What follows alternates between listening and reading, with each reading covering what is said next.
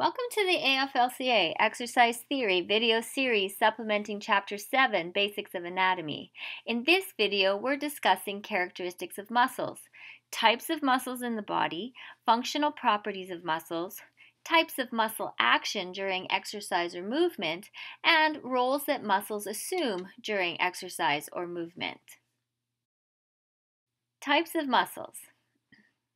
There are three types of muscles in the body smooth, cardiac, and skeletal. Smooth muscle is responsible for involuntary contractions and is found in walls of the intestine, blood vessels, and internal organs. Cardiac muscle is just that heart muscle responsible for involuntary contractions or pumping of the heart 24 7. Skeletal muscle is the muscle that attaches to bones and pulls on the bones, causing movement. It is responsible for voluntary contractions. In other words, it's under our conscious control. Functional properties of muscles. Muscle is just not a squishy tissue hanging onto bones. It has some fascinating functional properties, specifically excitability, contractility, extensibility, and elasticity. Excitability is the ability of muscle to receive and respond to electrical stimuli from the nervous system. Contractility is the ability of muscle to generate force as a result of receiving this electrical stimuli. When we think of the term muscle contraction, we usually think of a muscle shortening, for example, as in the up phase of a bicep curl. This is one type of contraction. However, muscle can generate force but not shorten. It can stay the same length, for example, during a plank exercise. It can also lengthen, as what happens in the down phase of any exercise, such as a bicep curl. More on this shortly. Extensibility is the ability of muscle to be stretched or extended beyond its resting length. And elasticity is the ability of muscle to return to its resting length or original shape after shortening or lengthening. Types of muscle action.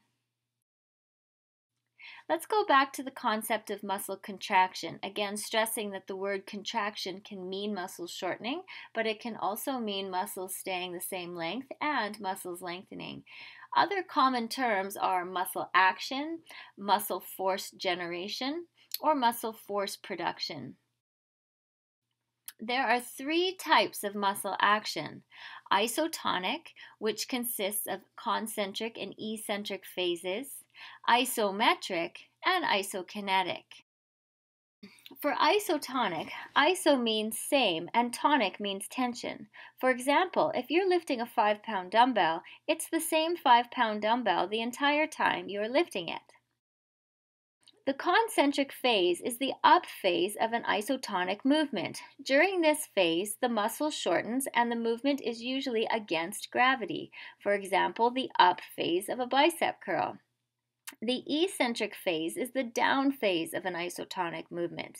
During this phase, the muscle lengthens and the movement is usually with gravity. For example, the down phase of a bicep curl.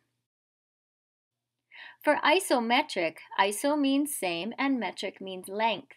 For example, if you're doing a plank exercise, your muscles are generating plenty of force, but they're not shortening or lengthening. They're staying the same length. Isokinetic. Iso means same and kinetic means speed.